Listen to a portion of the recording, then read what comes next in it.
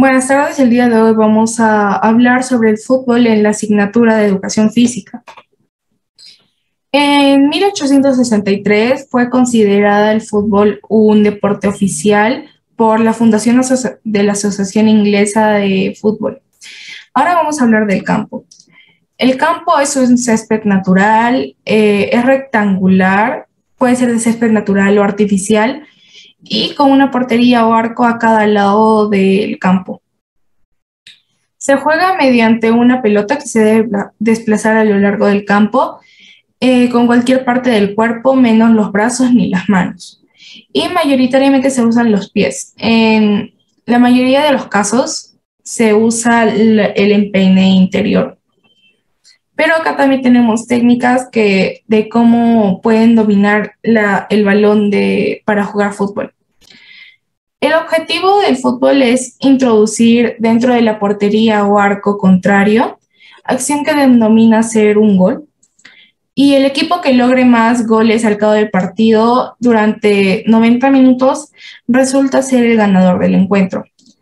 Ahora con mis compañeras hemos, eh, hemos durante todo este tiempo, durante todo este cuarto trimestre, hemos hecho algunas actividades de fútbol. Buenos días a todos. Yo soy la alumna Antonella Morales Navarro del séptimo B y hoy día les voy a hablar sobre los fundamentos técnicos en el fútbol.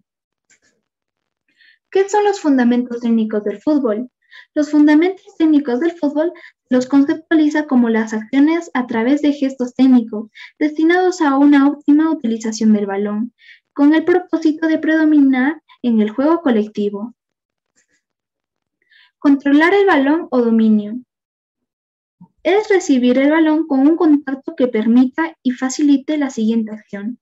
El balón se puede controlar con todo el cuerpo. Los arqueros tienen permitido hacerlo con la mano, pero los demás jugadores del campo no. Para controlar el balón con perfección se necesita una buena posición del cuerpo, según sea el contacto que se busque.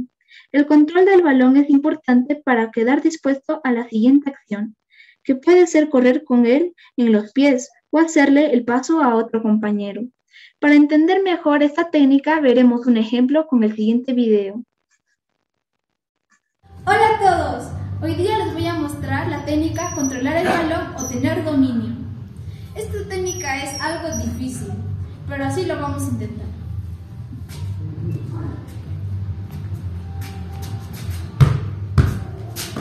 Venadísimo, dos.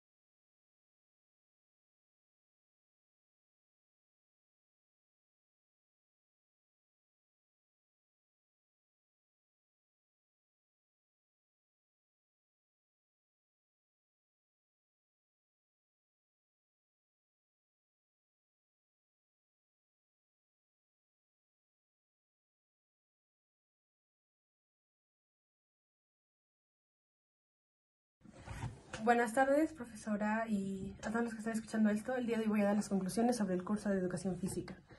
Para empezar, el curso de educación física nos ayuda a compartir en familia y pasar tiempo en actividades más sanas como lo es el deporte. Cada, cada bimestre la MIS nos deja un trabajo familiar, lo cual nos hace compartir en familia y de una manera sana, ya, ya que sean los deportes o los juegos que hacemos, ya que no es, por ejemplo, jugar videojuegos o una película de familia, sino es más compartir entre nosotros, salir al parque y de cualquier manera nos ayuda. Además de que esto es sano para nuestro cuerpo, para nuestra mente y para todo. Después, aprendemos diferentes cosas como el trabajo en equipo y la importancia de la responsabilidad y disciplina en clases. De verdad aprendemos diferentes cosas, ya que siempre tenemos que hacer un trabajo en equipo con, la familia o tenemos que ver cómo lo hacen a mí, seguir, entonces eso nos hace prestar más atención y ser más responsables en ese aspecto y tener disciplina al momento de hacer eso, luego irnos a lavar las manos, por ejemplo, y comer la fruta, lo cual también nos ayuda bastante. Por último, el curso de educación física nos ayuda a mantenernos en forma y aprender diferentes disciplinas a la vez que nos ayuda en diferentes ámbitos. El curso de educación física nos hace trabajar una hora el cuerpo completamente, ya sea en diferentes, nos hace calentar, luego pasamos a los trabajos, entonces esto hace que nuestro cuerpo se vaya acostumbrando a este ejercicio físico y que poco a poco nos ayude tal vez en nuestra forma o mantenernos saludables, ya que después de esto es más comemos nuestra fruta y esto todavía lo hace aún más beneficioso. Y eso sería todo, muchas gracias.